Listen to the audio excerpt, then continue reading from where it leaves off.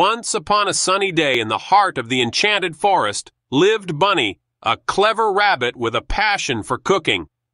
Bunny had a brilliant idea to celebrate his dear friend Squirrel's birthday with a special dinner. He hopped around inviting all their forest friends, Wise Owl, Cheeky Chipmunk, and even Chirpy Bird. Bunny, donned in a tiny chef's hat and apron, worked tirelessly in his cozy burrow kitchen. He whisked, stirred, and baked a magical feast of carrot cupcakes, acorn soup, and berry pies. The aroma wafted through the forest, enticing everyone to join the celebration. As the sun dipped below the trees, Bunny set a charming table adorned with colorful wildflowers. His friends gathered around, eyes gleaming with anticipation. Bunny, with a flourish, unveiled the feast.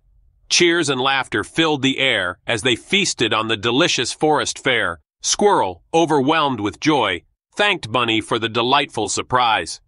The friends sang a cheerful birthday song, and Bunny presented Squirrel with a special gift, a handmade acorn necklace.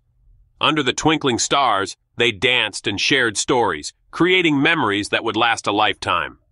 The enchanted forest echoed with laughter, a testament to the friendship and warmth that filled the hearts of Bunny and his kids' friends on this magical birthday celebration.